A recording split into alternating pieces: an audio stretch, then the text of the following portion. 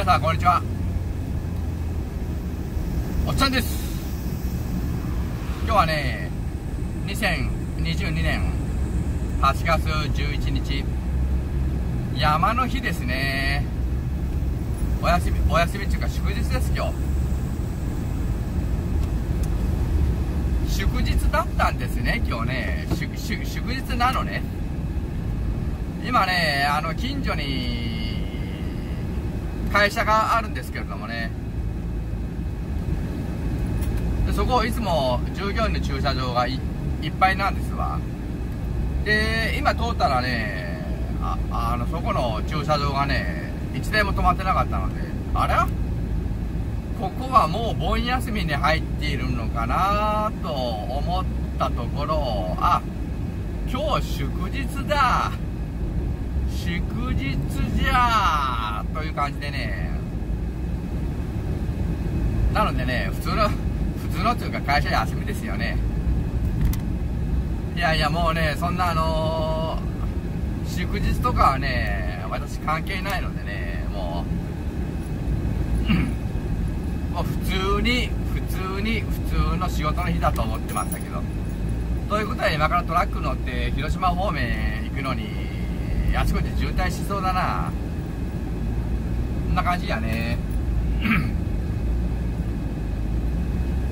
はいそんなところで今日もざっくばらにラジオ代わりにやっていただきたいと思います。やっていただこいただきたいじゃないお聞きお聞きくだされ。今日のテーマはね何でしょうかなと思いましたけれどもね。まあ特にテーマはないんだけれども。まああのブラック企業に入らないで済む方法。これをね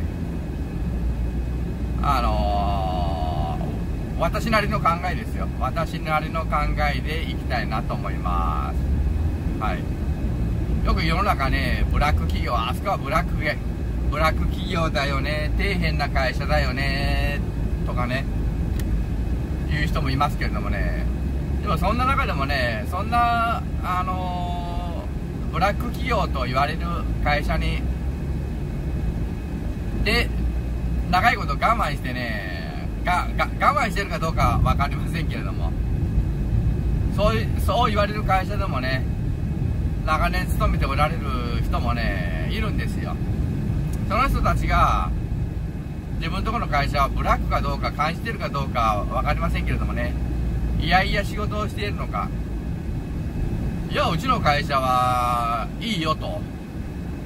そういった思いで仕事をしているのか。分かりませんけれどもね。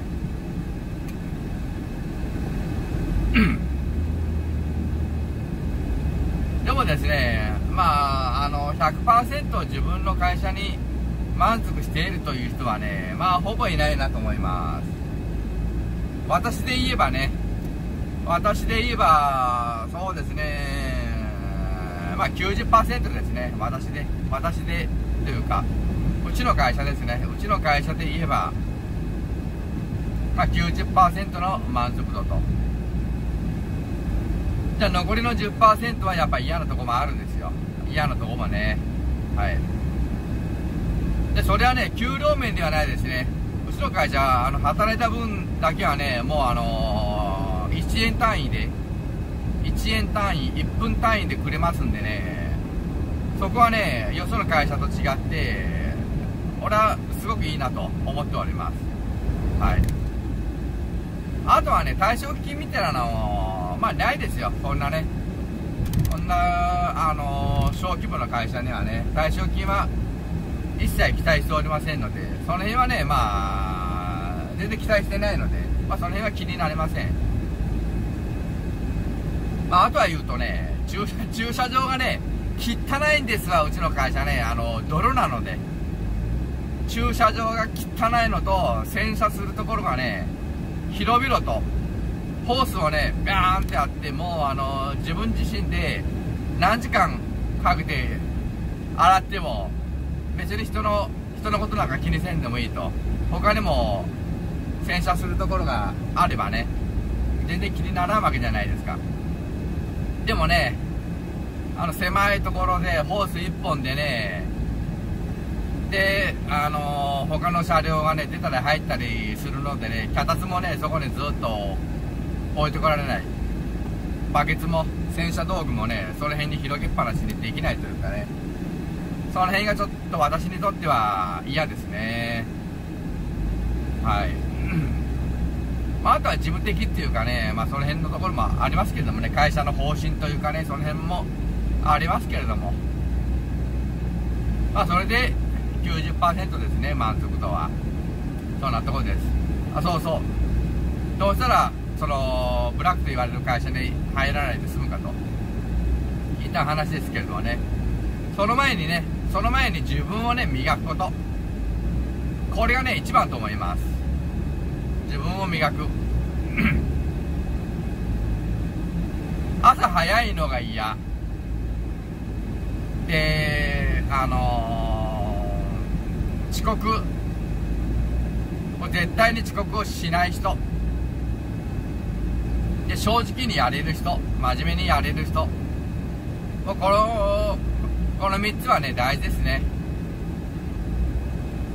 もう誠実な人。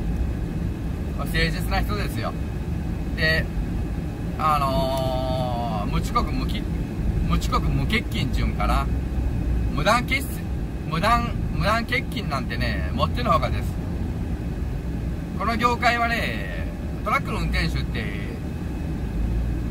1台の車を1人で動かすんでね。で全てね1人の運転手が完結するんでね。そこで無断欠勤とかね例えばあの急に急になんかで行かれなくなったというのはねすごく困るわけですよね。でもそうは言ってもね急病になったりとかね盲腸になったりとかねなんかあのー、急性なんとかかんとかとありますありますよ。もうあのー50代にもなりましたらね40代50代になりましたらね急な病気もねありますけれども。まあそれらを除いてあとまあお酒ですよねお酒飲みすぎて朝アルコールアルコールチェックするのにアルコールが検出されたとそんな人はね乗務させられませんからねでそういった人がね続くともう会社の方もね、もう結構です、あなた辞めてくださいというようになるんでね。まあ、自己管理ができない人はね、ダメですよ。はい。でね、あの、そういう人は、そんな、そんな人でも雇う、雇うような会社しかね、出てこないです。いわゆる手足がついてれば何何でもいいよと。もう昭和の、昭和の運転手ですよ。手足がついてれば何でもいいと。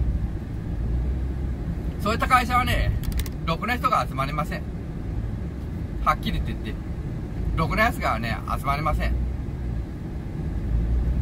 で、会社もね、良くなりません。そういう人をね、雇ってる会社はね、まあ、まあ、ろくな会社じゃないですよ。悪いけど。まあ、そうは言ってもね、ちゃんと教育していけばいいですよ。そんな人ともね。うちの会社はこうこうこういったもうコンプライアンスがあるので、これは絶対に守って守らなければならないと曖昧にねあああのー、もう荷物運んで運んで収めて帰ってくればいいから。もう430もね、まあ、できればやって、まあ、できなければしょうがないよみたいな。まあある意味ねいいんですけどね。ある意味はいいんですけどもね。まあ運転手はね運転手もね、あの、本当あのー、簡単に考えてるのが多いのでね、まあ、できる限り守ってね、と。そう言ったらね、できる限り守れません。そういう人はね、できる限りね、守らないですわ。で、できる限り守ってねじゃなしに、これは守らないといけませんよ。要するに法律違反ですからね。守らないと法律違反になるので、これはもうきっちり守ってもらえますと。まあそういった会社じゃないとね、まあダメですよ。まあ、守れるところで守ってねだったらね、守れませんって。はい。でブラック企業に入らないためにはまずは己を磨くことと。2番目は何度も言いますけれどもねそういった会社をね入らないブラックと言われる会社をねリストアップしてこの会社は入らない。〇〇運用は入らない。〇〇通運には絶対に入らないと。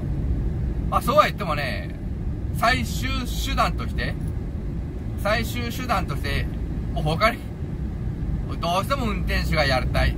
でもあのー、いい会社はみんな断られた。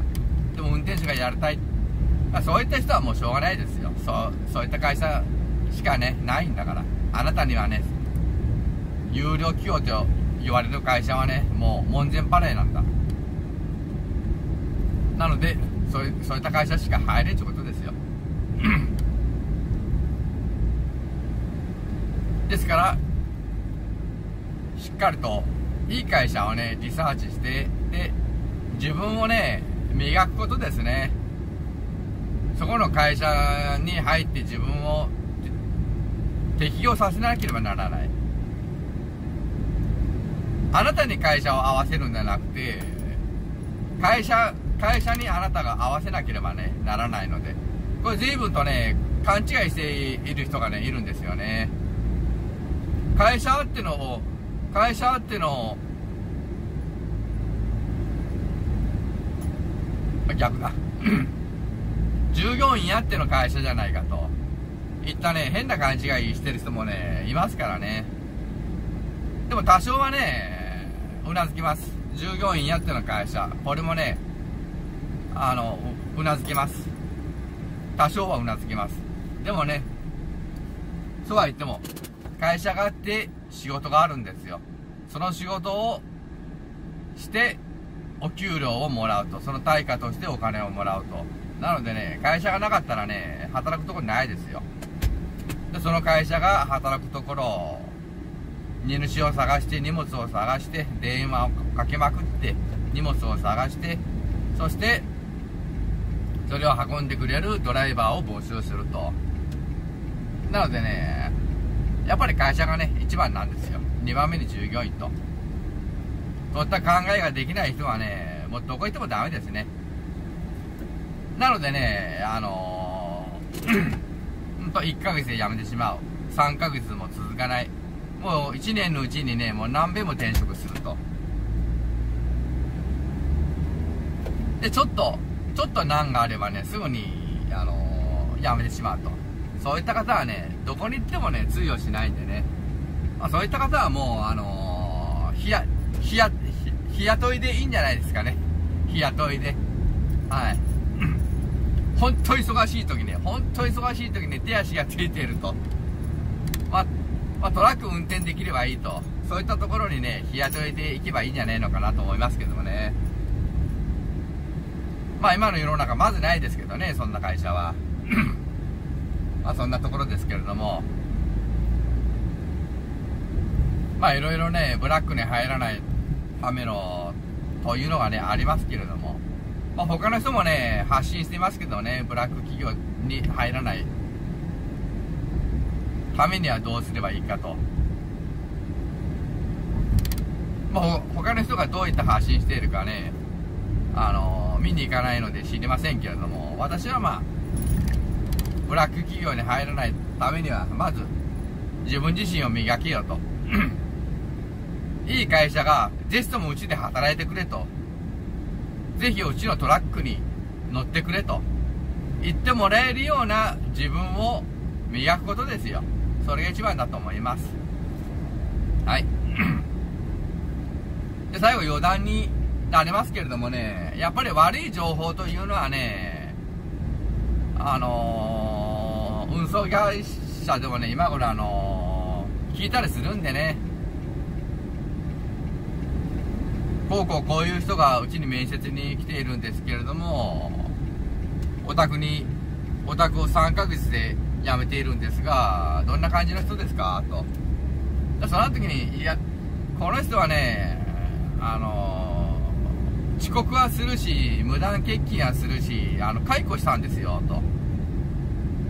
もうそうなったらねどこの会社もね雇ってくれませんよそういう人は。なのでねいい加減な人はねダメです。まあそういったこともねしっかりと頭の中に入れて仕事仕事というかねあの運送業に関わらず仕事をすることですよ。はい。仕事をね舐めちゃっちゃダメですよ。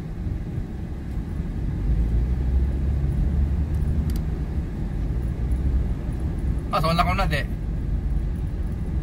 あとあと1日明日明日行けば盆休みです待ち待ちに待ったはいなんか台風の影響でね天気悪いですけれども台風がねあのー、ひどくならなければいいなと本土をね、直撃しなければいいと思いますけれどもね、なんか関東方面がどうだこうだと言ってましたけれどもね、盆の最中にね、台風なんか来られたら、いい迷惑ですよ。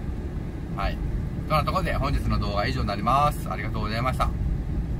それでは皆さん、くれぐれも、ご安全に、いってらっしゃい。バイバイ。